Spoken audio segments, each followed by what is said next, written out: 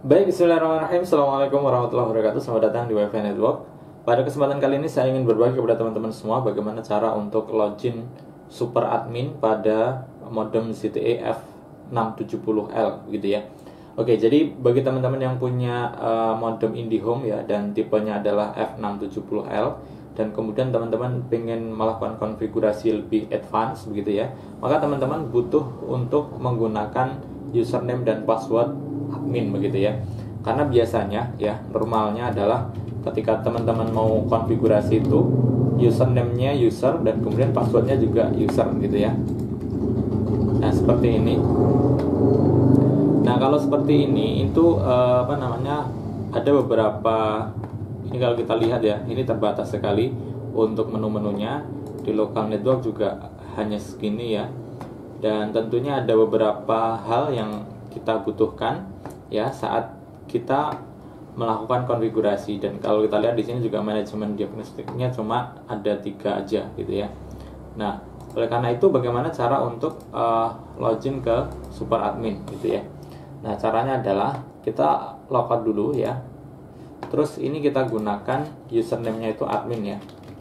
Dan kemudian untuk uh, apa namanya untuk passwordnya ini saya ini dulu ya saya hapus saja.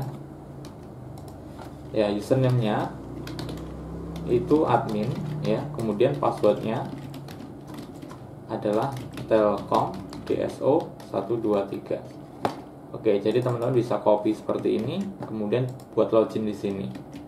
Kemudian teman-teman bisa klik login. Nah dengan login dengan menggunakan admin maka teman-teman uh, sudah mempunyai hak administrator terhadap modem ini ya. Jadi teman-teman bisa melakukan konfigurasi lebih advance pada modem ini.